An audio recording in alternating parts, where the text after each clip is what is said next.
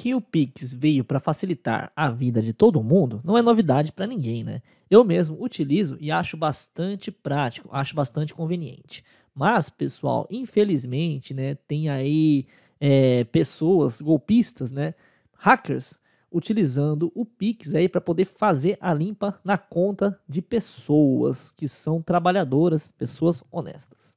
Bom, pessoal, eu estava aqui vendo o site Pleno News, que é um site muito bacana, né? E traz essa reportagem aqui, onde ele, o título é o seguinte: Vírus troca chave Pix e faz limpa na conta. Veja como se proteger. A ameaça entra no celular por meio de apps, né? Aplicativos baixados fora da loja oficial do sistema Android. Aí vamos dar uma olhada na reportagem, interpretar e dar umas dicas aí, né? Inclusive quero compartilhar algumas experiências com vocês.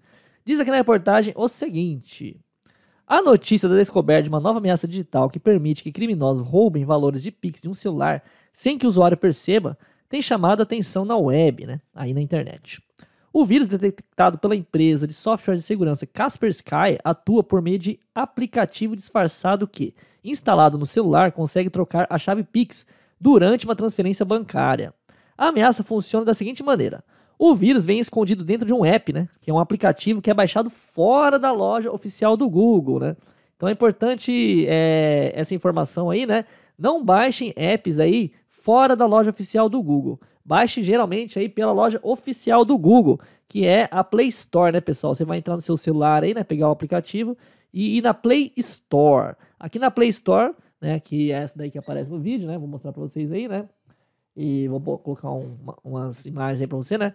Aí você consegue baixar os aplicativos oficiais, né? Então baixe só na Play Store, na loja do Google. Nunca fora.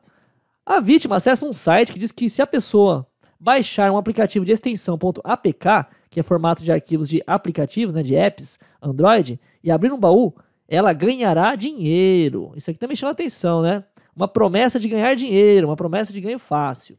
Geralmente isso aí é golpe. Instalado, o aplicativo em questão mostra uma notificação e diz que é necessário fazer uma atualização falsa de um leitor de PDF ou do Flash Player e exige que seja liberada uma permissão de acessibilidade. Na sequência, o usuário segue para as configurações do Android e libera o recurso de acessibilidade, que abre caminho para o acesso remoto criminoso. Então você vê que tem um passo a passo que eles vão te passando, né?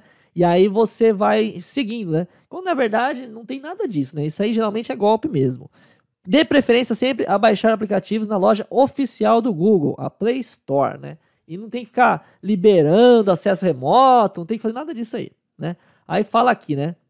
Uh, uma vez no aparelho, a ameaça consegue trocar a chave Pix durante uma transferência bancária para uma do criminoso. Além disso, ela pode mudar também o valor da transferência com base no quanto a vítima tem no banco. A única parte diferente do, no processo é um certo tremor na tela. O novo vírus chamado Debrats não exige que o cybercriminoso esteja em frente ao computador para executar a transferência bancária, já que a própria ameaça faria todo o trabalho roubando as pessoas. Para evitar ter o celular contaminado pelo vírus, existem algumas dicas. Vamos prestar atenção nas dicas, pessoal. Não instale apps, né, aplicativos, fora da loja oficial do Android, já que boa parte das ameaças, segundo a Kaspersky, são instaladas desta forma. Caso instale algum aplicativo que peça permissão de acessibilidade, não dê. Tenha um antivírus instalado no smartphone, já que com mais transações feitas pelo celular, há uma migração do cybercrime do computador para dispositivos móveis. Então é isso aí, pessoal. Tá? As dicas aí, né? Uh, esse vírus, ele tá trocando a chave Pix e fazendo uma limpa na conta das pessoas. Então a dica é, né? Uh, toma bastante cuidado aí, né? Baixe aplicativo só na loja mesmo do, do Android, né? Do Google, na Play Store.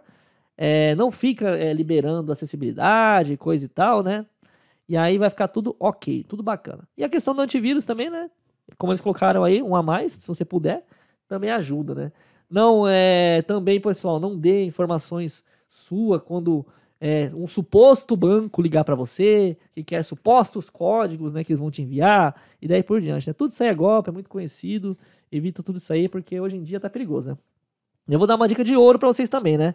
Agora que saindo um pouquinho do, do cybercrime, mas em pouco tem a ver, né? Eu, por exemplo, utilizo dois celulares. Um celular, ele fica todos os meus aplicativos de banco, coisa e tal, redes sociais, é, as coisas mais íntimas está aqui. Esse aqui não sai nem de casa. O outro, né, não tem banco, né? Não tem nada. Esse aqui ele vai pra rua. Caso me roubarem, apontarem uma arma na minha cabeça, ah, desbloqueei o celular aí, coisa e tal, né? Não vai ter nada aqui dentro desse celular, né? E aqui, né, aqui tá mais seguro em casa, né? Fica bem guardadinho, bem escondidinho. E, e também tem a questão de, de backup, né? Às vezes você perde, por exemplo, fotos que tá no seu celular principal, né? Na rua, aí você, você perdeu o celular, por exemplo. Aí você fica sem as fotos tal. Então, eu geralmente faço backup para esse celular que foi mais em casa. Tenho backup na nuvem também, como por exemplo no Google Fotos. Você pode guardar as fotos no HD, coisa e tal, né? A segurança sempre em primeiro lugar, né? É, nunca passou assim para ninguém, obviamente, né? Independente se falar que é alguém do banco que tá te ligando, né? Ah, eu sou do banco, não sei o que. Não, não. Não tem que passar senha para ninguém. E é isso aí, pessoal. Então vamos tomar cuidado aí, abrir o olho. É, mas e você que assiste esse vídeo? Já conhecia esse golpe aí que tá fazendo a limpa no Pix? Deixa opinião nos comentários que eu quero saber. E assim, pessoal, não é errado, não é errado utilizar o Pix, né? É uma, uma ferramenta que facilita muito a vida da gente. Mas, né, tem que tomar cuidado com esses golpes aí que tá rolando na praça. Valeu, pessoal. Até o próximo vídeo.